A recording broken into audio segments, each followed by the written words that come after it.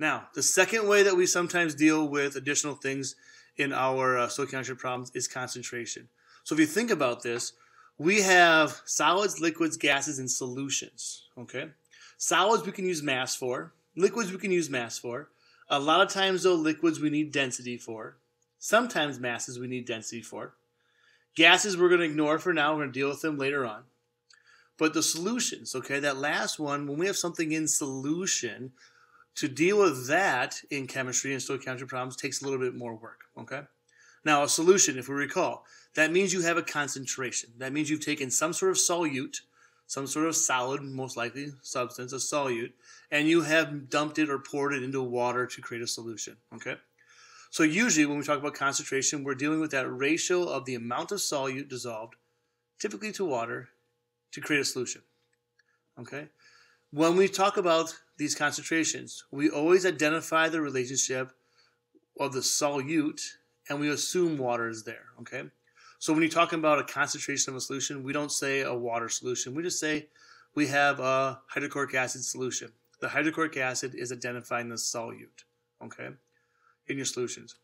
Now, concentrations can be measured lots of different ways. We can do parts per million, parts per billion. There's things called normality and molality. There's percent by mass, there's percent by volume. Those are just a few that we see in chemistry. Okay?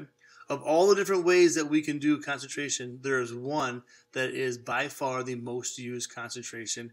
It's the one that we use almost universally for our normal chemical reactions. That's called molarity. Okay? And we've been using that this year also. We've talked about molarity before. We just haven't defined it before. So molarity is symbolized by a capital M. And the molarity of a substance is actually a calculation of the moles of your solute divided by the liters of your solution. Okay? So you know your moles of solute and the volume of whatever your solution happens to be. Okay? Usually we shorten this down just to say moles per liter on this.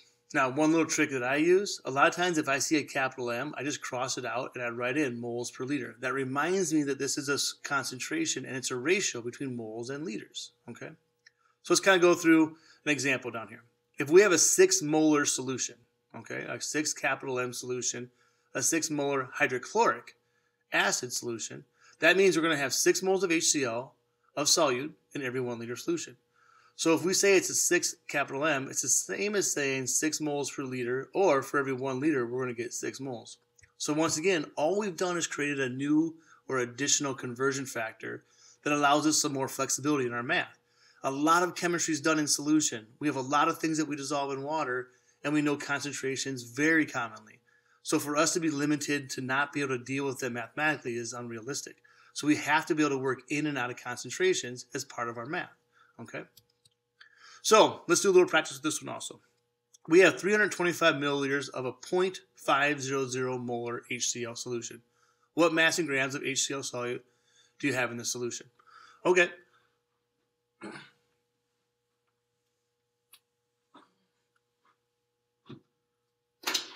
So we started off, we have 325 milliliters of a solution, okay? So the 325 is the number that we want to start with because that's not a ratio, that's an exact amount, okay? So we have 325 um, milliliters of our HCl solution.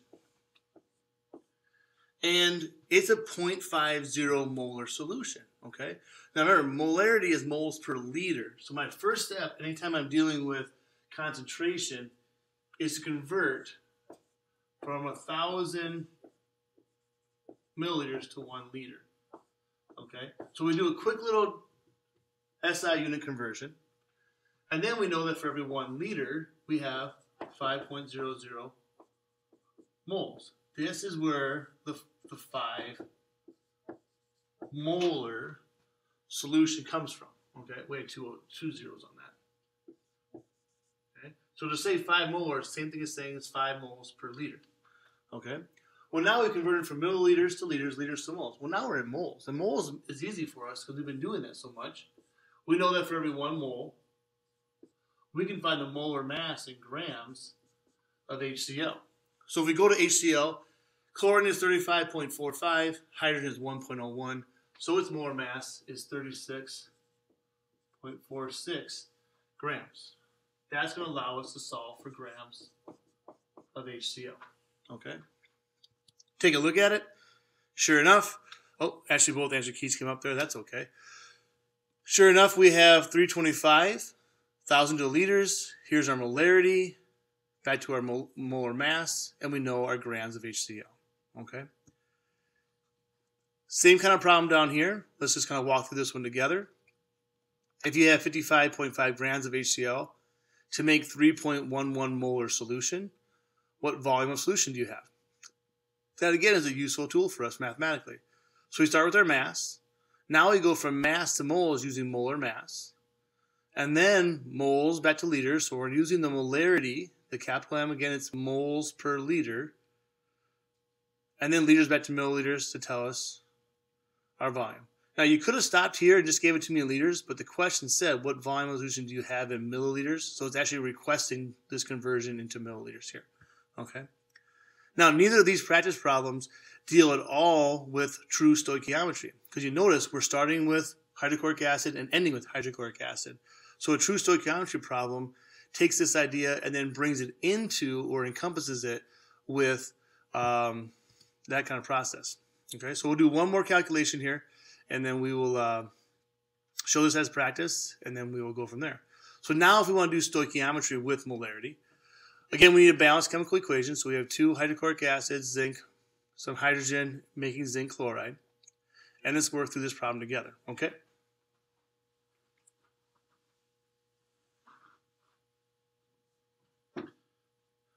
So we have 1.04 grams of zinc.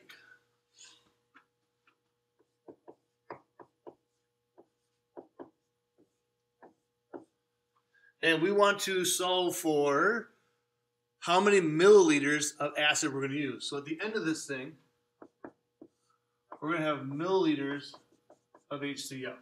Okay? So our first step, we have grams of zinc. Let's get to moles. We always want to go to moles as soon as possible.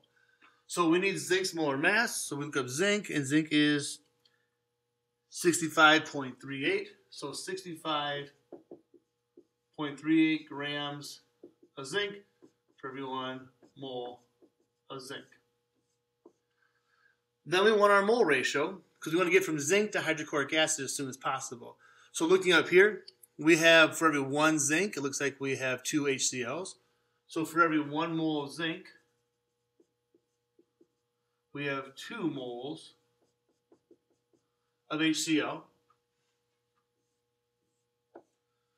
Well, if we have moles of HCl, we can then find mass of HCl if we wanted grams, but we don't want grams here. We don't want a mass. We want a volume of a solution. So instead of actually going to grams, we're not going to do that here. We have moles of HCl. We're going to go use the molar mass or the molarity. This has this is a 6.00 molar solution, which means it's 6.00 moles per liter.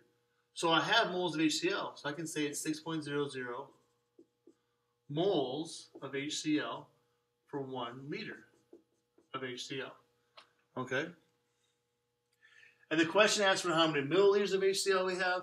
So our last step is for every one liter, it's a thousand milliliters to solve this.